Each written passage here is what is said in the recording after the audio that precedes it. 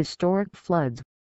During a nationally televised weekly TV program on the Kenyan Broadcasting Corporation KBC television network that was aired on the 7th of August 2005, I began to proclaim the coming of historic tsunamis and floods upon the face of the earth. In that well-publicized television program, I once again reiterated that historic earthquakes like never seen before would have to strike the planet Earth in the event that the nations failed to repent and turn away from sin. In verbatim, that prophecy said, the Lord is going to shake half the planet Earth. Half of the earth will shake tremendously because of this judgment, so that the dwellers of the earth may know that when this happens, it is God who has caused it to happen. What else have I seen viewers? I asked. I have seen debris and destruction again. Let me tell you this. In that 8 a.m. television program, I then further said, I have seen tremendous earthquakes coming to the earth. Very tremendous. Who tells the ocean where to stop?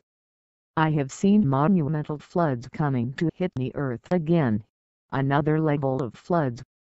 And then the Spirit of the Lord led me to further say that I have seen tremendous death coming to the earth. Through it all, it emerged vividly obvious that this prophecy handed down to me by the angel of the Lord, was directly meant to reprove self-indulgence in all its forms. It is a prophecy that accepts the hospitality of all classes by paying a visit to all households, both the rich and poor, learned and the ignorant as it shakes and sees the peoples of the earth for the kingdom of God. Beneath this humongous prophecy was the luminous light of God in his total majesty of righteousness. For those who hearken unto righteousness, they would see the compassionate Redeemer in this historic shake-up. Job 38, 7-8 says, When the morning stars sang together, and all the sons of God shouted for joy, or who shut up the sea with doors, when it brake forth, as if it had issued out of the womb. Job 38:11. When I said, This far you may come and no farther, here is where your proud waves halt. This is what essentially graduated the prophecy when I saw the historic floods of that vision and fearfully exclaimed to the nations, Who tells the ocean where to stop? Double-edged sword. It was during the same period, while in Dodoma, Tanzania, that the Lord again spoke with me regarding this most horrific judgment that was coming to befall the nations of the earth. In a pastor's conference held in July 2005, in Dodoma, the Lord visited with me that night in a follow-up vision to that of July 11th. In the vision, God Almighty spoke with me in yet another stern conversation at night. At the core of that vision was the conviction that the gravitational center of man's relationship with the Lord rested on holiness. Going by that vision, I well understood it that in God's view, human understanding, trust, hope, service and worship, all indeed rested on the bedrock of morality, and a crisis in the latter spelled doom. What equally projected out clearly was the fact that God Almighty, Yahweh, is the great King over all the heaven and the earth, and one to whom all things must be subject. The cup of God during the vision, heaven opened, and I saw the person of the Holy Spirit descend all the way from heaven, down towards the earth. When he came from heaven, and had reached closer to me, I noticed that he was carrying a cup in his hands. The cup that the person of the Holy Spirit carried in that vision, was a stunning white glorious cup. Then all of a sudden, I saw the person of the Holy Spirit turn that cup that was already full, and poured its contents upon the face of the earth. It was then that the Holy Spirit came back again, and he handed me down the sword from heaven. The sword that God the Holy Spirit placed in my hands, was a shocking most glittering sword, whose sharpness was razor thin, after which he asked me, What do you see happening with this sword? With a great longing to know, I looked at the sword that the Lord had handed me, and realized that it was a unique sword with two blades. As I held the sword of the Lord, I saw that it had four sharp edges that all converged at the handle. Then the person of the Holy Spirit came and touched the same spot on the handle, from where I held the sword. And then he asked in a loud voice, What do you see now?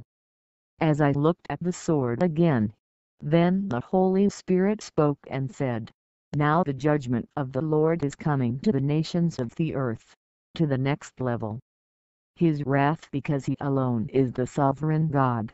Waking up from that tremendous vision, I realized that all the universe, the nations included, are indeed governed by his hand.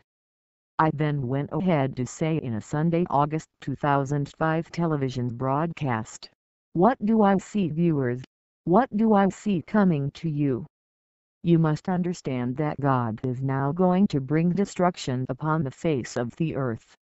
And I said, I have seen historic war coming to the planet Earth. I have seen tremendous quakes, floods, tsunamis, wars and death coming to the planet Earth. In that television program I proceeded the viewership. Why is the Father showing me the wrath of his anger? His wrath is coming against the nations of the earth, because the altar of the Lord is broken and defiled. While the future of the godly into the kingdom of God was seemingly far rated by this prophecy, their protection thereof by the Lord is nevertheless guaranteed by the Holy Spirit dwelling place. The Lord then again appeared to me in a mighty visitation two days later in the visitation of the Lord. The voice of Jehovah spoke and said, Look I have no dwelling place. I am looking for a home and a dwelling place. That whole night the Lord talked to me about a dwelling place. I still remember that when I woke up and was very sad, I indeed felt the way the Lord himself had felt he was very sad looking for a dwelling place. And that only meant that no one could be able to say to themselves that this is the temple of the Lord, for surely it was not the temple of the Lord anymore, because it was defiled. In the subsequent television programs, I was then compelled by the Holy Spirit to say, when the Lord looks at Australia, he sees sexual sin, Yet when he looks at Africa he sees sexual sin and witchcraft sweeping the continent of Africa. Heavy-duty witchcraft upon the altar of the Lord. Asia bears the Eastern religion of Yoga, Hinduism, Buddhist, etc. etc. During those proclamations, it became very easy to recognize man's total dependence upon Jehovah. He who opposes the proud who rely on their own resources that they have contrived. Contrarily, it immediately struck me that the humble, the poor and needy, who acknowledge their dependence on the Lord on all things, are the ones in whom God delights, hence would endear his protection upon. This kind of ominous prophecy attests to the fact that pride yields disobedience and even though the proud may seem to prosper, God will bring them down to death their final end. The postmodern Earth and its inhabitants have been so proud to the Lord due to their civilization and modernization. The showcasing of the Tower of Babel. Alternatively, the humble who delight in the fear of the Lord, trusting in Him, and obeying His requirements, are indeed the wise before the Lord. The Lord in this prophecy portrays clearly that those who embrace the fear of the Lord will inherit the kingdom of God and that not even death can hinder their seeing the face of God. Why the distress? The condition of man's heart. This most portentous July 11, 2005 visitation presents what the postmodern world would term an affront to prosperity and human civilization. It is as though God Almighty was determined to demolish the big leap that man had scored in technological and infrastructural frameworks for comfortable and safe living in this day and age. Many may ask, why then would the loving God turn against mankind to such an order? The truth however is that Jehovah God in heaven had impatiently awaited the return of mankind Jeremiah 8 8. As time passed by, and mankind did not appear, his suspicions were roused. The unwillingness of the shepherds to clearly point out on the matter of the Messiah's glorious return, seemed to indicate that they had penetrated God's design and had purposely avoided preparing for the coming of the Lord. The mere thought that his own creation could attempt to avoid the most momentous celebration of the cross at the marriage supper of the Lamb, undoubtedly maddened God. Hence, by sending this July 11, 2005 angel to make such ominous pronouncements, vividly paints a clear picture that reason had failed, but there was now left the resolve to godly force. Isaiah 1, 18-19 says, Come now, let us settle the matter, says the Lord. Though your sins are like scarlet, they shall be as white as snow, though they are red as crimson, they shall be like wool. 19 If you are willing and obedient, you will eat the good things of the land.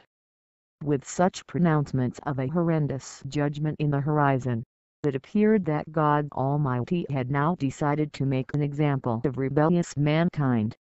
And they that were the haughty residents of this planet Earth should now see what they might expect in their attempt to place earthly prosperity and immorality on the throne in what might serve as a perfect replay of tragedy, when Israel had similarly attempted to adorn a golden calf and place at his altar, it became a lasting controversy that saw many millions lose their lives, from the wilderness even unto this day. The present day Church of Christ too, has fallen into this same tragedy, by attempting to enthrone that same earthly prosperity and promiscuity of this age at his holy altar in the sanctuary.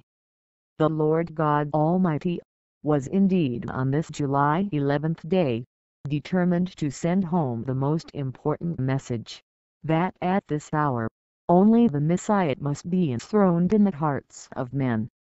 This calamity that the angel of the Lord was now decreeing on that July 11, 2005, mankind had brought it upon themselves. If only they had been walking in meek faithfulness and humility before the Lord, he would have, in a historic manner made the wrath of his end-time virtue literally harmless to them. But they had separated themselves from God by their sin and they had rejected the Holy Spirit who was their only shield and defender.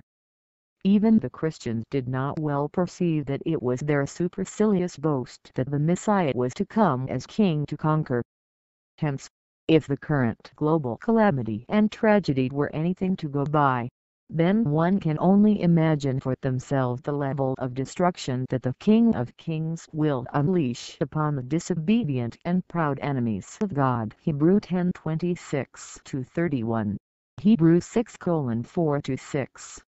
They had not studied the scriptures with the desire to conform their lives to the will of God.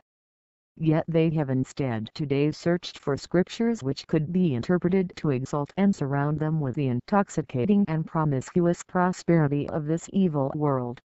Through their gross misinterpretation of the word for selfish gain, God Almighty finally purposed to compass the destruction of their rising tower of Babel, which today we can clearly see, has turned upon their own heads and this is the condition of man's heart that has caused unbearable agony in heaven. God Almighty is today speaking using the cruelty of these beginning of birth pains to affirm to mankind that if we have given our hearts to Jesus, then we should also bring our gifts of holy worship unto Him. Put in perspective, the Holy Church of Christ is today being beaten by this overwhelming angel of the Lord in this vision. The night is nearly over and the church must now prepare in earnest that she might fulfill that which has been spoken of her by the prophets.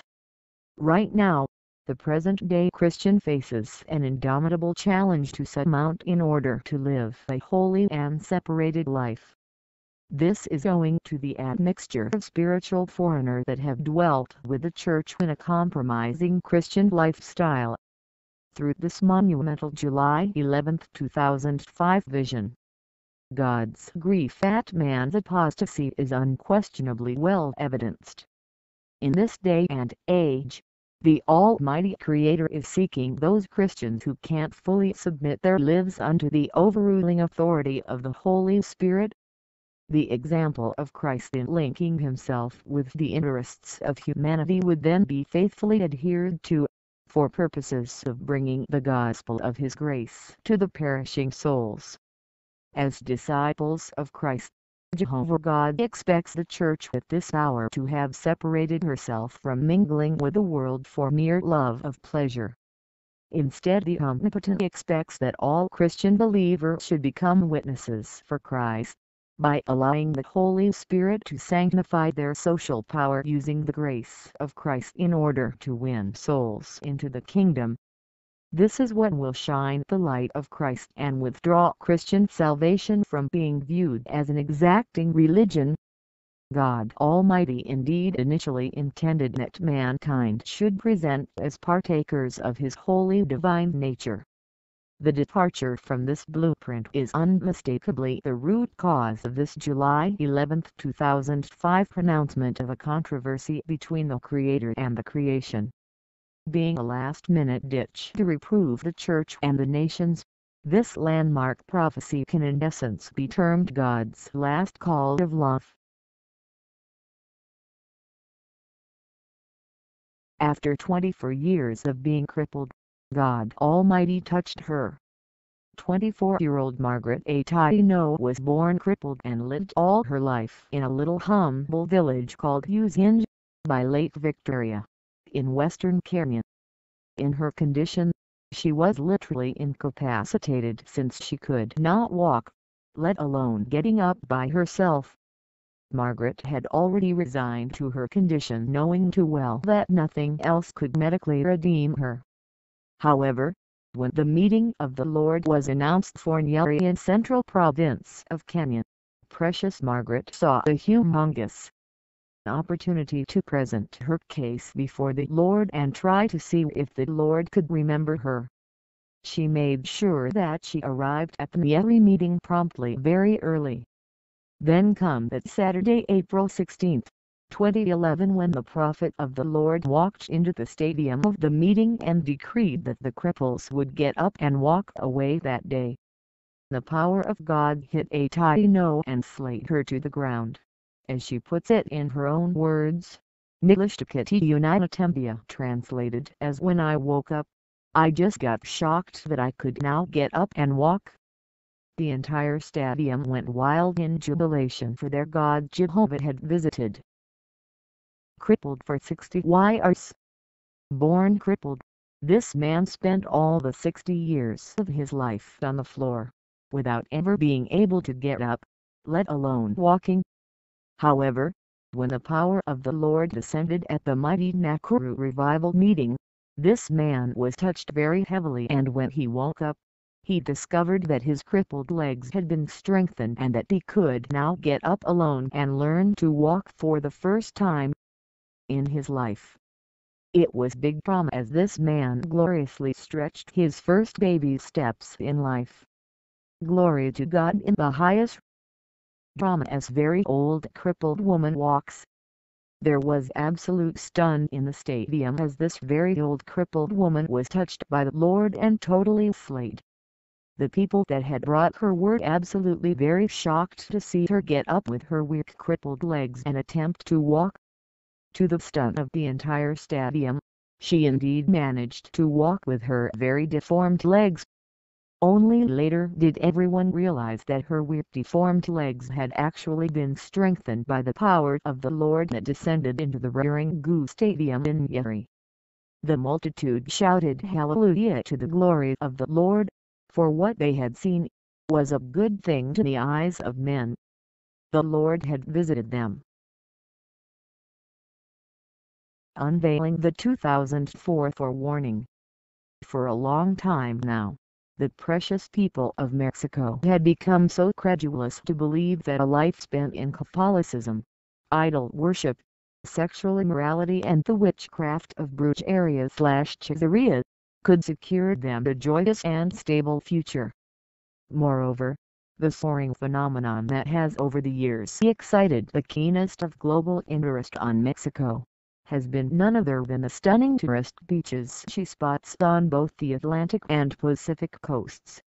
With all the awe of their beauties, these tourist resorts have unfortunately paid homage to a precipitous form of sexual immorality ever witnessed. Coupled with a tradition of an agnostic form of secularism, these aspects of the Mexican society have not only defined the texture of that nation, but also outlined its unique characteristics. Considering another yet most disturbing spectacle of human sacrifice that Mexico is involved in, all these aspects of sexual sin, witchcraft, and have simply presented as a mere harbinger that indicates on the level of decay in that land. The Pyramid of Cholula, popularly known as Pyramid de Cholula, has over the years prided herself as a focal point of convergence at which various witches congregate to observe an annual festival known as Dia de San Miguel. Such a day always fell on September 29th of every year, commonly referred to as Street Michael's Day. The mourning indifference with which the church in Mexico turned to her own practices, in the midst of such a heinous sin, is what could have even enraged the jealousy of the most wicked of eighty hog witches. Thereat in the Catholic Church of Mexico, indeed must have called forth no expression of joy at all in the heart of the Lord, but rather surprise, shock, mingled with utter unquenchable rage. The abomination that one runs into in some of the well-established Mexican cathedrals, is such a detestable act that must have definitely wrenched God's heart to tatters. The placing of a huge monumental statue of an eagle with two heads, is in itself a monumental act that undoubtedly cannot portray the worshipping of Jehovah. Such statues only befit the adoration of an evil monster at the altar of the Lord, whichever way one looks at it. How about the burial of priests and bishops at the altar of the Lord, where the children of Jehovah kneel down before the Lord and kiss those glass encasing of dried and immortalized corpses? While all this goes on, the Pentecostal and evangelical churches that should have been the light in the nation of Mexico, have instead fallen to the temptations of the gospel of prosperity. With its appetites and worldly passions, this money-oriented preaching has largely appealed to the physical nature, and hence most effectual in corrupting and degrading worship in the sanctuary of Jehovah, at the expense of acting a role of the rod of God in Mexico. Through its beguiling intemperance, the rampant gospel of prosperity in Mexico Pentecostal Church has destroyed the mental and moral powers of the gospel of the blood and the cross that God gave man in that land a priceless endowment. This is what has rendered the nation of Mexico a repugnant form of heathenism and caused the Catholic Church to get away with littering the land with huge statues right inside and on the rooftops of their churches. These are the large statues that have been molded to depict human appearance, and named after the celestial beings, to look like angels. With all this happening in Mexico, land literally transformed herself into a regional hub of idol and satanic worship. Thus it became impossible for men to appreciate things of eternal worth.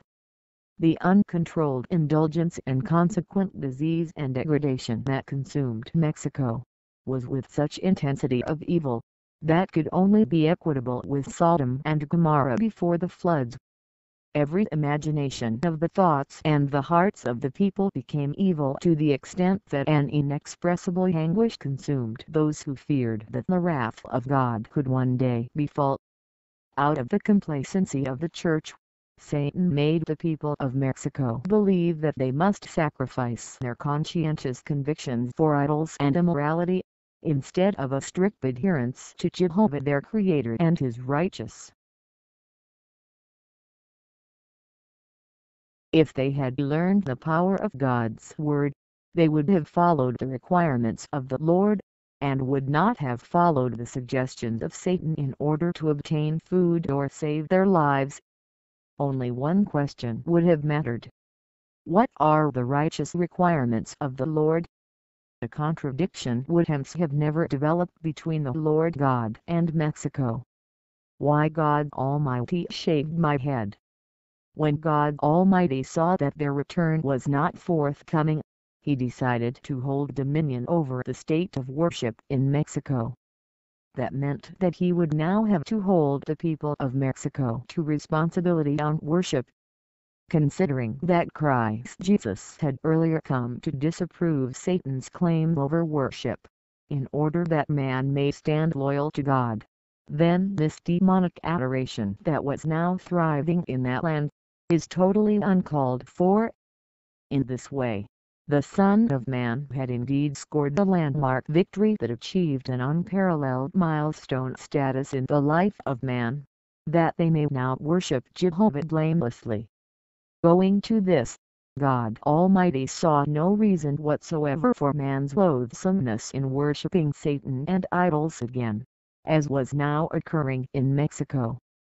This is the sole reason as to why the Lord sent me to Mexico in that 2004, to awaken their souls on the fact that they had grossly misrepresented God, and very much misinterpreted his rites of worship. The Lord in that mission did not want his wrath to come upon them, without a prior warning, lest men be led to fear God as one who delights in their destruction. Vision of Satanic Rituals in Monterrey Upon arriving in the city of Monterrey, the Lord led me to proclaim the need for a national repentance in Mexico, and especially within the church. The Lord Jehovah then began to speak to me in mighty visions, and by his voice, about the hoarhead state of sin and defilement in Mexico. It was then that I once got the opportunity to visit a suburb of Monterrey called Guadalupe. While at Guadalupe, the Lord vividly spoke to me in a radical vision that would later change the entire state of the affair in Mexico. In the vision, I saw the communities that inhabited the mountains of Monterrey. As I observed further on, the Spirit of the Lord highlighted the kind of worship that was ongoing on the mountain slopes. Key among the events that grieved the Lord in that vision, was the slaughtering of wild dogs as sacrifice to the devil. In the vision, the Lord specifically emphasized on how those communities gathered themselves to partake of that evil worship sacrifice as dogs were slaughtered. The Lord equally showed me the stones that were being laid down in building the altars for satanic worship.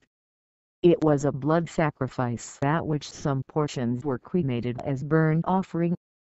The white stones Following this disturbing vision of satanic worship on the mountain slopes, the God of Heaven led me to proclaim the first warning on Mexico.